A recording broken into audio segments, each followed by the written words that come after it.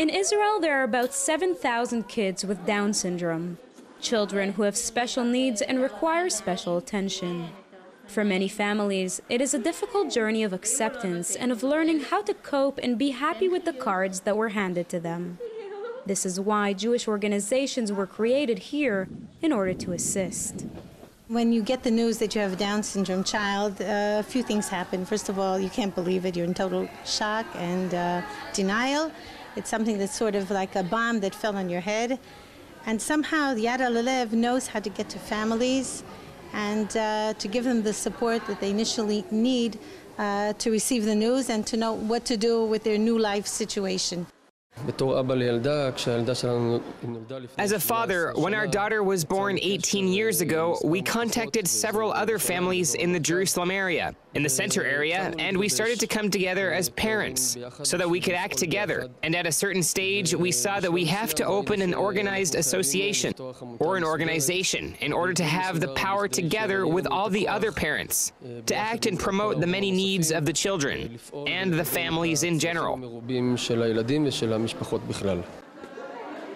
There were times in history when children with Down syndrome were considered flawed and treated as abnormal.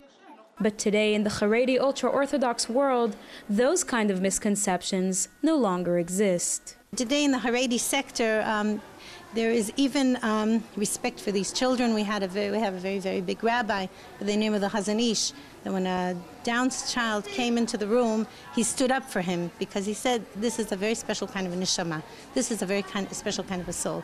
So not only is there an awareness, there's also a respect. Every year, about 120 kids are born with Down syndrome in Israel, with a large percentage of them belonging to the ultra Orthodox community. And as in many other religious communities, abortions are frowned upon in the Jewish faith. We don't believe in abortions. If it could be avoided, we believe it's uh, murder.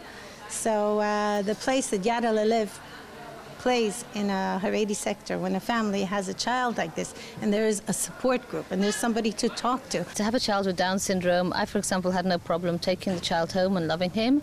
Uh, which wasn't the case with many other children, but nevertheless, you need a lot, a lot of physical strength and, and emotional strength. I've been there. My son is 21 years old to me. I couldn't see myself living today without him, even though once it was like the, the blackest thing that could have happened to me.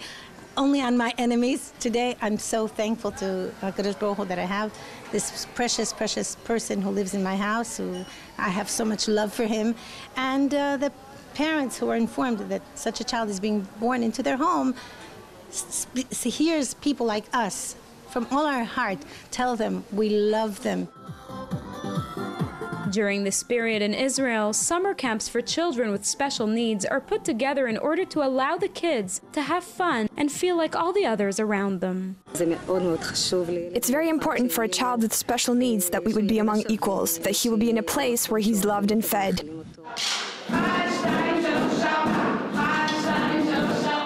And the activities are often designated for the parents, just the same as for their children. The mothers get together according to age, according to uh, boys, girls, whatever it is. They uh, have different kinds of groups, and then we sit together. Usually there's someone there, a professional, who gives us information. And sometimes it's just the mothers themselves who get together and we talk and we find out all kinds of things. But, you know, the parents are able to say, you know, dentistry, independence, how do you do this, how do you toilet train, how do you get the children to be more independent? There's all kinds of things. And, and we work as one big family. This uh, holiday that we're having now, having now also gives us strength, also puts us um, on our feet again. And it's uh, very important because it gives mothers one another ability to speak to one another, to exchange information, to exchange ideas, to give strength to each other, which is also very important. In a beautiful place like this, with delicious food, with interesting programs, with simply being spoiled. It's very, very important to give to yourself because if you don't give to yourself, you can't give to others. These days, there are tests to detect Down syndrome, but for the many ultra-Orthodox Haredi families who often do not take the tests, and even once they do, choose to have the baby anyhow, these types of associations that assist are vital. For JN1, I'm Sivan Raviv, Israel.